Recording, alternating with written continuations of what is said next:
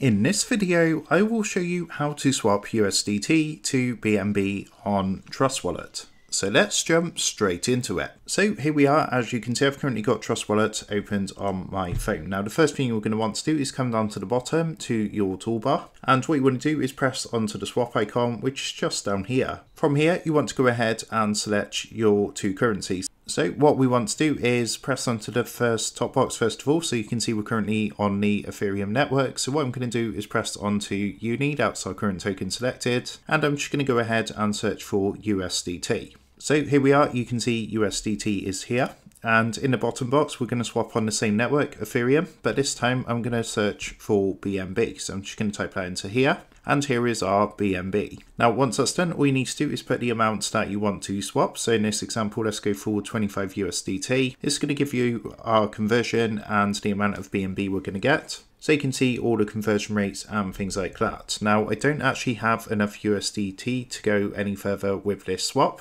However, once you've done that, at the bottom where it says insufficient USDT balance, yours is actually going to say swap as long as you have the available funds. So what you would do is press the swap button and it's going to give you a confirmation screen. After that, just go ahead and press confirm and that's going to go ahead and swap your USDT to BNB. So that is how to swap USDT to BNB on Trust Wallet. With that being said, I hope this tutorial did help you out today. And if this did help you out, I would really appreciate it if you was to consider dropping down below the video, leaving a like and also subscribing to the channel.